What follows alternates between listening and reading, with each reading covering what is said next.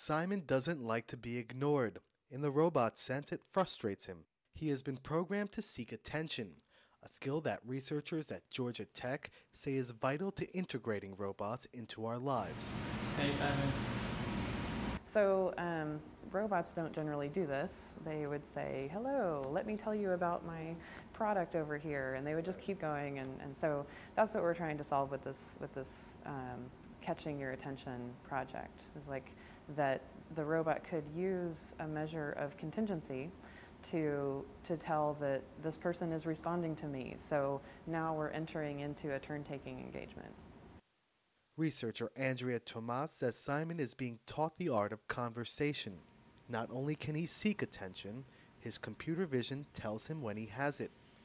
The researchers have programmed him to compare the video images registered before and after his appeals for attention. If the images are significantly different, Simon knows he succeeded. Thomaz says that giving a robot the ability to converse with a human has several real-world applications. Search and rescue could be one of them.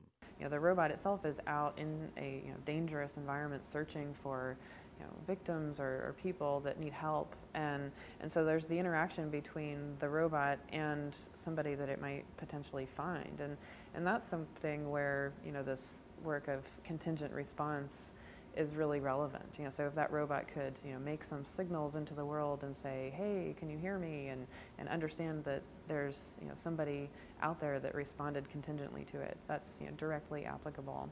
Thomaz says there's still a lot of work to be done before humans and robots can chat with one another.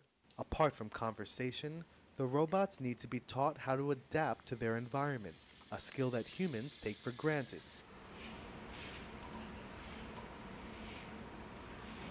Thomaz believes it's only a matter of time. Today, Simon can get your attention, but soon he may be able to tell you what's on his mind. Ben Gruber, Reuters.